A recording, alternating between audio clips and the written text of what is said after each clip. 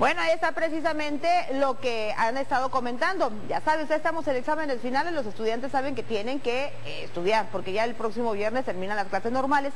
Y bueno, hablando precisamente de la Universidad Autónoma de Baja California, hoy el rector Jovenelo Segueda firma un importante convenio entre la UABC y el Congreso del Estado en el tema de la transparencia. Un poquito más adelante le vamos a traer la información al respecto.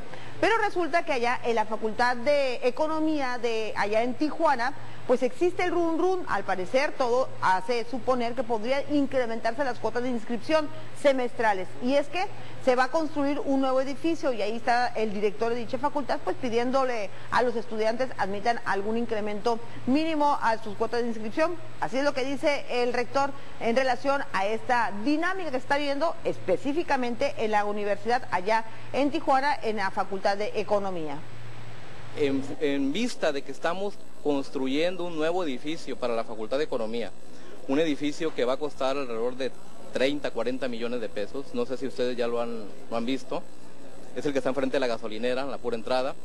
Eh, el director platicó con los liderazgos de la Facultad de Economía, que son los concejales técnicos, los concejales universitarios, la sociedad de alumnos, y sometió a su consideración un apoyo que normalmente se hace en todas las unidades académicas. Nosotros no tendríamos forma de eh, crear y estar construyendo todo el nivel de infraestructura que tenemos actualmente si no es con la aportación que los padres de familia nos hacen.